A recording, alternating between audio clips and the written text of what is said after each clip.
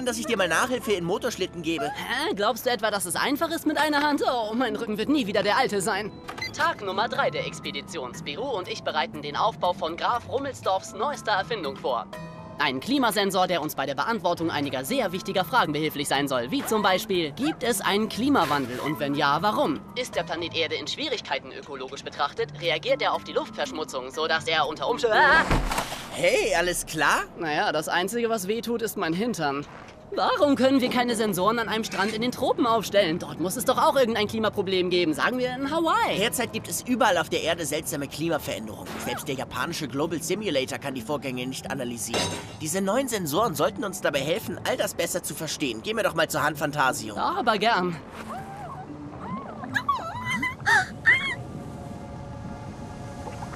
Alles klar. Eins, zwei, drei. Puh, komm, wir stellen irgendwo einen auf, wo es sonnig und warm ist. Apropos Sonne, scheint es nicht irgendwie wärmer zu werden? Hey, du hast recht, das ist toll. So ein schöner, warmer Nordpol weckt den Abenteurer in mir. Mein Vorfahre Hippolyte Fantasio de Puerto Bello war ein kühner... Fantasio, sei still. Oh, habe ich dir das schon mal erzählt?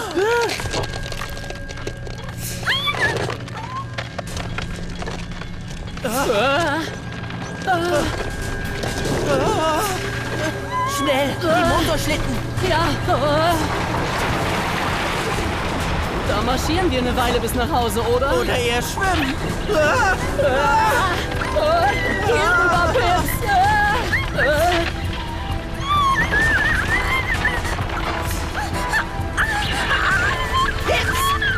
Ah, Die Kamera!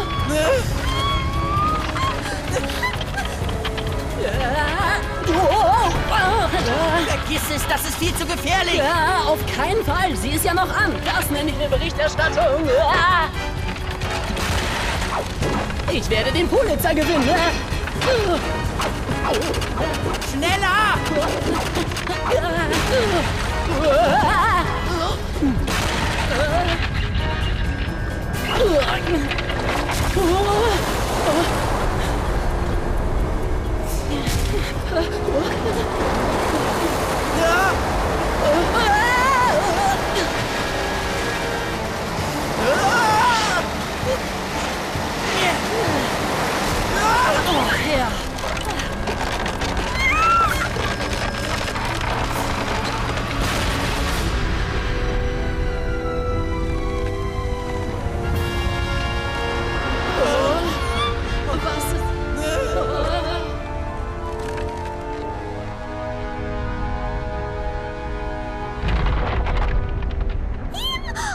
War ganz schön knapp. Ja, langsam wird's heiß. Besonders für dich kaum zu glauben, was du für einen Sonnenbrand bekommen hast. Hä? Oh, was ist denn jetzt los? Die Fische haben den krassen Temperaturwandel nicht überlebt. Stell dir vor, was in einer bewohnten Gegend los wäre. Was für eine Katastrophe. Die gesamte Menschheit ist in Gefahr. Das kann nicht so weitergehen. Wir müssen herausfinden, was da los ist.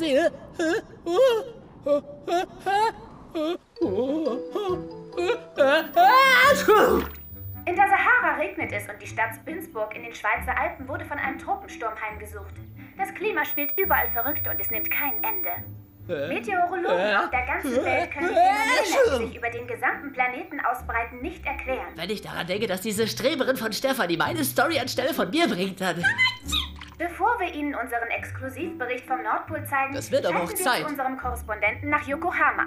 Kishoro, sagen Sie uns, konnte der globale Klimasimulator bereits irgendeine Erklärung finden? Diese Phänomene werden immer heftiger und tauchen immer häufiger auf. Professor, was könnte es für eine Erklärung dafür geben? Eureka, ich hab's herausgefunden. Ist es wegen der Ozonschicht? Ich weiß nicht, aber ich habe das erste Mittel gegen Erkältung und Sonnenstich gefunden. Spiro, Graf Rummelsdorf, es fängt gleich an. Beeilung!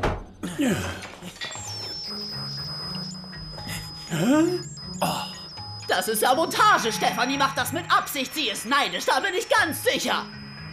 Das glaube ich nicht. Guck mal, es läuft dasselbe auf allen Kanälen. Was weißt du denn? Ah, bin ich schlecht drauf. Trink das. Du wirst sehen, danach fühlst du dich viel besser. Wie soll ich mich jemals besser fühlen? Ich habe den Pulitzer verloren, meine Karriere geht den Bach runter und alles, was ich kann, ist Vertrau niesen. mir, Fantasio. Schluck das runter. Schlimmer kann es nicht mehr werden, nehme ich an.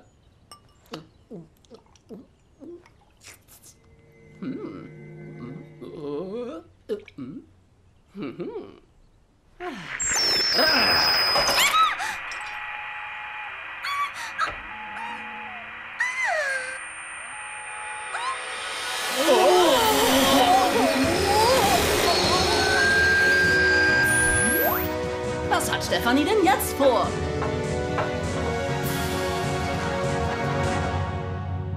folgende äußerst wichtige Nachricht erscheint weltweit auf allen Bildschirmen, ist in alle Sprachen übersetzt und wird Ihr Leben verändern. Ja, genau, unser Leben verändern. Ich frage mich, ob das für Seife oder Kaugummi Ich ist. fürchte, dass das keine Werbung ist.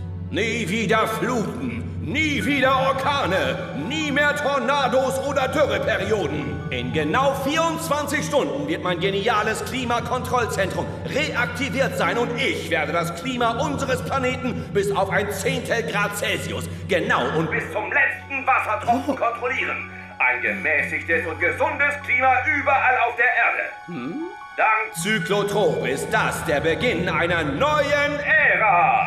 Ich heiße Sie da draußen alle willkommen im Zyklotrop-Paradies. Lang lebe Zyklotrop, lang lebe Zyklotrop.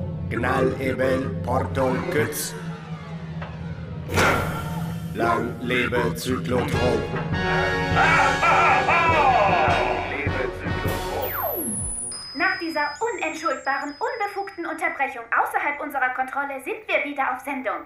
Wer ist dieser Zyklotrop? Wie hat er es geschafft, alle Sender anzusteuern? Und kann er wirklich das Klima kontrollieren? Was quatscht die denn da? Wir werden versuchen, noch vor der nächsten Sendung dahinter zu kommen. Das war Stefanie immer mit den neuesten Nachrichten. Wo ist meine Story? Hm? Tolle Freundschaft ist das. Sie lässt zu, dass uns dieser Irre alle zum Narren hält. Nein, tut mir leid, das ist kein Witz. Wir müssen unbedingt herausfinden, wer dieser, dieser... Zyklotrop. Mein allerbester Student. Aber vor 20 Jahren ist er verschwunden. Glauben Sie ernsthaft, dass er in der Lage ist, das Klima des Planeten zu kontrollieren? Komm schon, das soll wohl ein Witz sein. Willkommen im Zyklotro-Paradies. Der Typ ist doch albern. Wir sollten ihn lieber ernst nehmen. Die Wetterveränderungen sind auf die Tests zurückzuführen, die er in seinem Klimakontrollzentrum gemacht hat. Zyklotrop ist eine Menge, aber kein Lügner. Und wenn er sagt, dass er es kann, könnt ihr darauf wetten, dass das stimmt. Ein gemäßigtes Klima auf dem gesamten Planeten? Ja, aber man kann das Klima nicht mit einer Maschine steuern. Es genügt nicht, einfach ein paar Knöpfe zu drücken. Das ist wesentlich komplizierter und sehr gefährlich. Aber den Schaden haben wir schon. Denken Sie nur mal an die Eisschollen. Wir müssen ihn aufhalten. Fantasio, hast du die Sendung aufgenommen? Natürlich habe ich das. Hier, bitte. Pips! Hä? Pips! Alle willkommen im Zyklotrop-Paradies. Erspar mir das bitte, das ist nicht auszuhalten. Wir haben das jetzt millionenfach abgespielt und immer noch keinen Hinweis. Das ist unsere einzige Spur. Wir gucken es noch mal. Macht zumindest den Ton aus. Ich ertrag diese Stimme nicht. Uah! Unmöglich, den Sender zu ermitteln. Zoomen Sie die linke Seite ran, im Hintergrund. Was ist da? Sein Piranha-Schoßtierchen, das er aus dem Zoo gestohlen hat? Das ist eine ziemlich süße Piranha, aber das bringt uns auch nicht weiter. Hüpfende Seerosenblätter, nicht zu glauben. Diese Sporen, das ist ein Pilzus hawaiianus. Ich war mir sicher, dass die Spezies verschwunden war, als Hector Laverdière sie 1883 von Kotiki mitgebracht hat. Erstaunlich, hm? Warum schaut ihr mich so an? Graf Rummelsdorf? Packen Sie Ihre Badehose ein.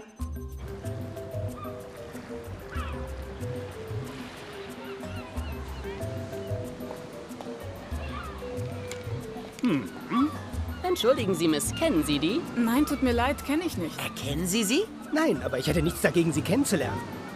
Ja? Nein. Glück gehabt? Gar nichts. Und du? Nein, aber die Insel ist gar nicht so groß, komisch. Spirou, Fantasio, ihr müsst das Eis probieren, das sie hier machen. Lauter exotische Sorten. Und es gibt sogar etwas für dich, Pips. Cashew-Nuss-Traum. Ja, wir können genauso gut aufhören und uns eine Leckerei gönnen. Das Mädchen finden Leute eh nicht mehr. Oh, pass auf! Tut mir leid, ich habe dich nicht gesehen. Weißt du, du könntest aufpassen und ein bisschen besser schauen, weil... Äh, das ist das Mädchen! Das ist sie, das ist sie! Moment mal. Äh, hey, bitte. Hey du, wieso belästigst du unsere Freundin? Halt! Anhalten! Was willst du von Saoki? Aoki? Oh, guck mal, ein fliegendes Skateboard. Der Typ ist ja völlig durch.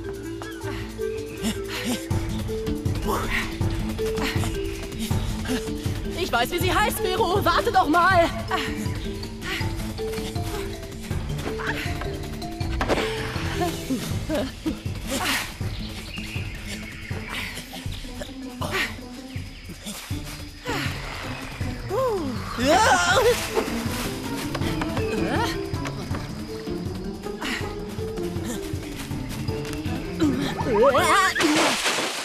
Peinlich, schon wieder auf den Hintern gefallen.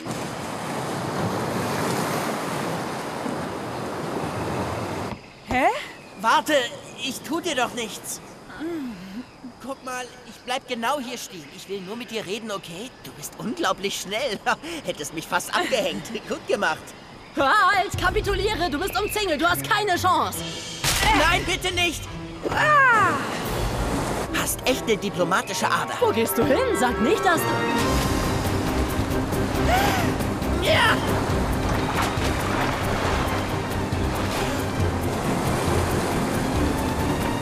Fantasio, du musst jetzt runterspringen. Okay, los geht's. Eins, zwei, zweieinhalb, zwei, drei Viertel.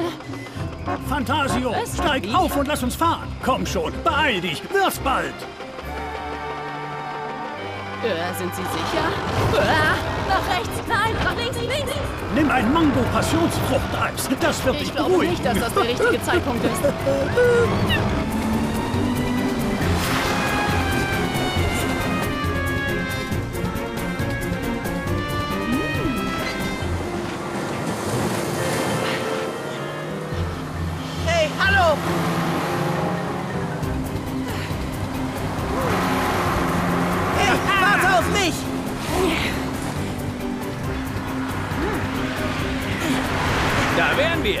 Großer, bis dann! Ist Liebe nicht wunderbar? Bitte warte! Hör mir zu! Geradeaus, Kannst Graf! du dich endlich mal entscheiden? Da, Graf Rummelsdorf, wir haben Sie gleich eingeholt.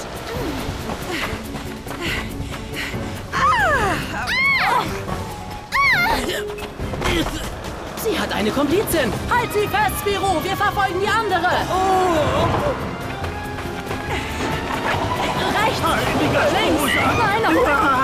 Falsche Richtung. Graf! Stephanie, das glaube ich ja nicht. Musst du uns denn immer verfolgen? Was machst du denn hier? Nur wegen dir ist sie jetzt weg. Wer ist Was sie? meinst du damit? Wer ist sie? Kennst du sie nicht? Nein. Warum hast du versucht, sie aufzuhalten? Du warst hinter ihr her, also muss sie interessant sein. Und wer ist sie nun? Eigentlich sind wir uns da auch nicht sicher. Sie heißt Saoki und wir denken, dass sie Zyklotrops Komplizin ist. Wie kommt ihr darauf? Weil sie so verzweifelt versucht hat, davonzulaufen. Aber wir haben sie nicht ganz verloren.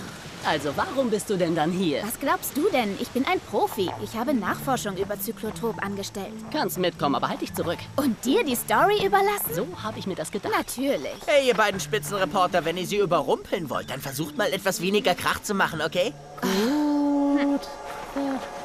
Die Fußspuren enden hier. Sie muss sich dort drinnen verstecken. Worauf warten wir noch? Hey, halt mal den Ball flach, okay? Wenn sie entwischt, wird sie Zyklotrop warm, dass wir hier sind. Du gehst mit Pips hinten rum, während Warum? ich dann... Komm mit, Pips. Wir gehen durch die Haustür. Die Kotiki-Insel ist nach einer gewaltigen Unterwassereruption im Jahre 1876 entstanden, während ein britisches Schiff Mitglieder einer wichtigen wissenschaftlichen Exporte... Äh? Wo seid ihr hin, meine Freunde? Wow! Spiro! Fantasio!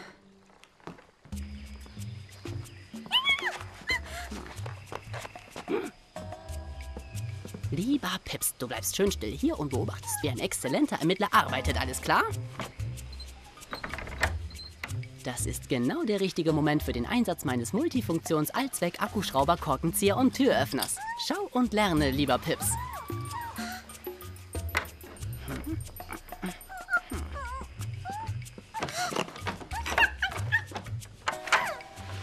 Wie du siehst, kann dem wohl kein Schloss standhalten. Beeindruckend, was, Pips? Die Menschen sind den Tieren überlegen, weil sie Werkzeuge benutzen.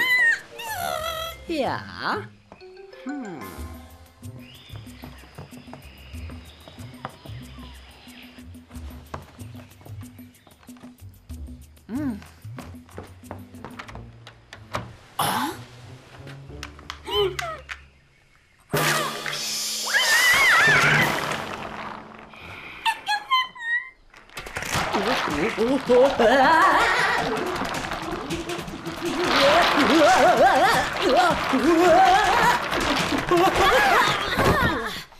Die Pressefreiheit zu untergraben versuchen, das ist skandalös. Und so rumzuschreien wie ein Irrer ist nicht skandalös, oder wie? Kein Grund, sich zurückzuhalten. Hier ist ja niemand. Wenn du nicht gleich aufgestanden bist, muss ich annehmen, dass dir das gefällt. Denk mal nach, Fantasio. Es gibt überhaupt keine Zweifel mehr. Das ist Zyklotrops Haus. Familienfotos? Sieht aus wie eine Geburtstagsparty. Das heißt also, Saoki ist die Tochter von Zyklotrop.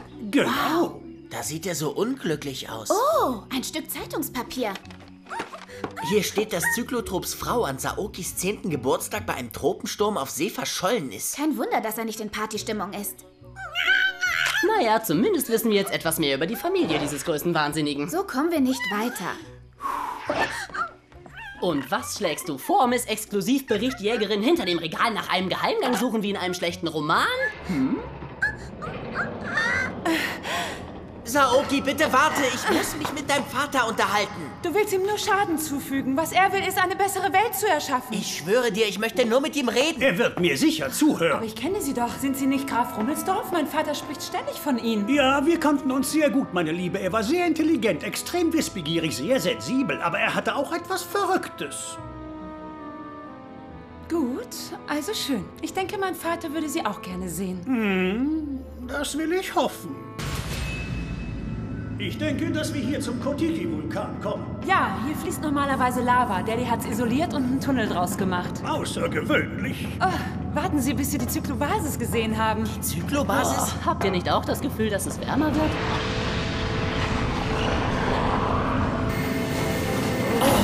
Zyklotrop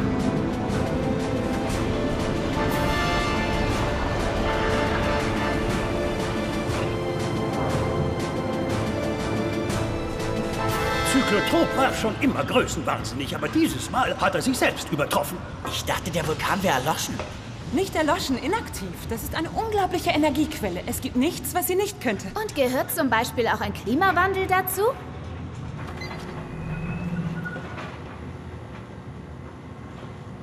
Lächeln Sie mal, Sir. Ich mache ein... Oh, das, das ist ein... ein... Ein Roboter? Genau. Er hat auch ein paar Kumpel. Eindringlinge, Ebene minus 3. Saoki!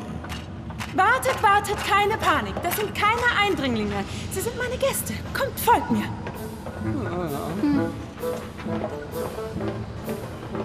Oh, das Gesicht erinnert mich an jemanden. Meinst du das ernst? Hey!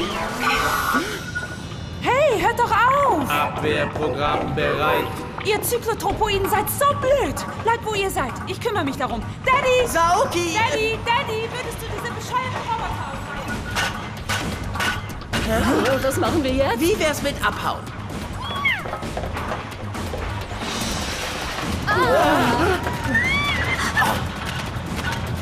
Und was schlägst du jetzt Ich vor? lehne es vollkommen ab, von einer Horde gehender Blechbüchsen gefangen zu werden, okay? Ha, das ist der Spirou, den ich hören möchte. Aha, na dann los!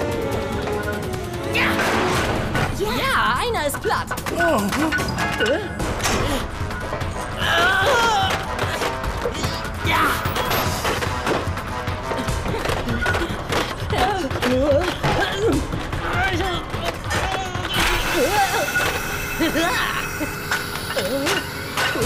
Graf Rummelsdorf, haben Sie vielleicht eine Idee?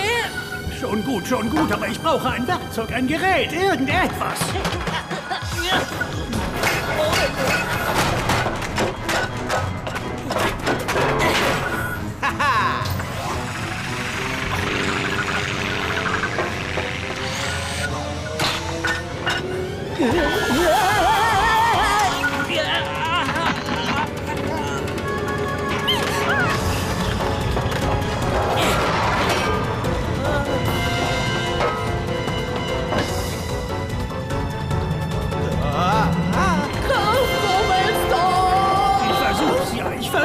Ja.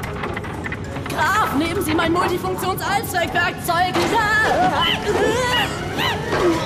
Oh, tut das weh.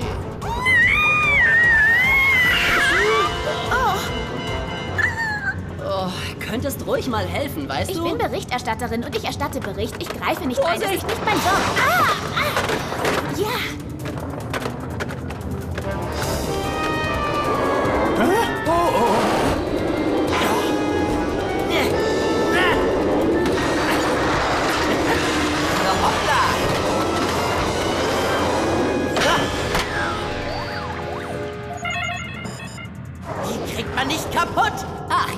das wollen wir erst noch sehen.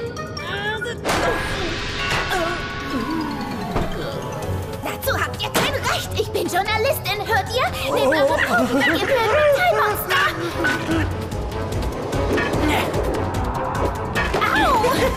Au!